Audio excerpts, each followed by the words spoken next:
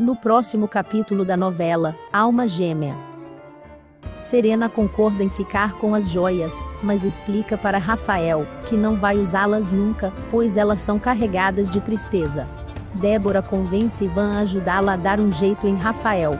Roberval acha que Dalila o traiu e a expulsa de casa. Dalila tenta se explicar, em vão. Cristina garante a Débora que as joias ainda serão suas. Ciro mostra a Agnes, que encontrou um caderno na maleta, e diz que ali pode estar a prova do envolvimento de Cristina na morte de Luna. Serena confessa para Felipe que algo de ruim ligado às joias ainda vai acontecer.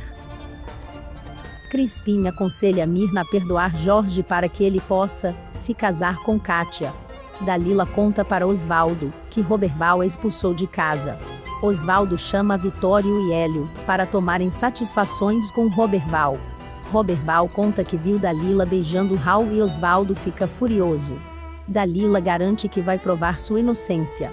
Alexandre fala para Guto seguir a luz. Serena diz para Rafael que as joias têm uma maldição.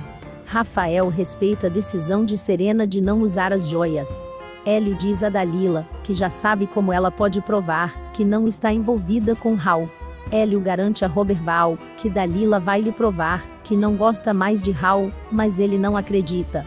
Cristina e Ivan esperam Eduardo deixar Alexandra sozinha em casa e fazem um interrogatório para que ela conte onde estão as joias.